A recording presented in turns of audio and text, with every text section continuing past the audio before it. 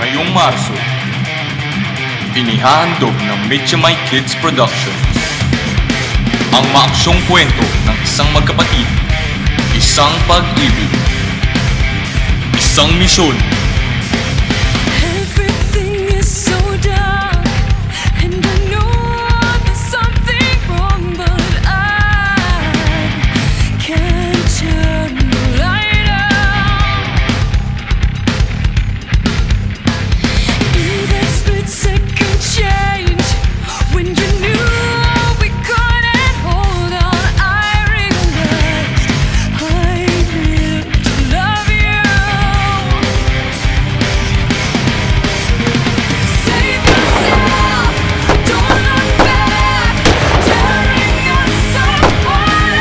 Pinakikilala si Edric Borja bilang Ace, Miko Manuel bilang Alexander, at Jade Villones bilang Claire.